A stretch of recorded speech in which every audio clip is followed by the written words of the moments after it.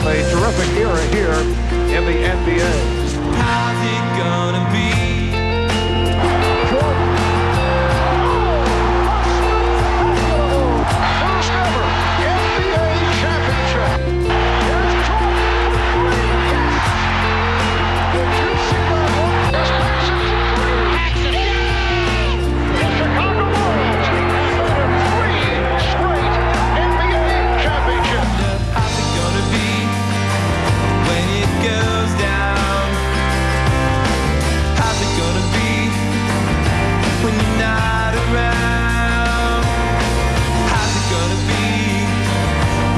found out there was nothing.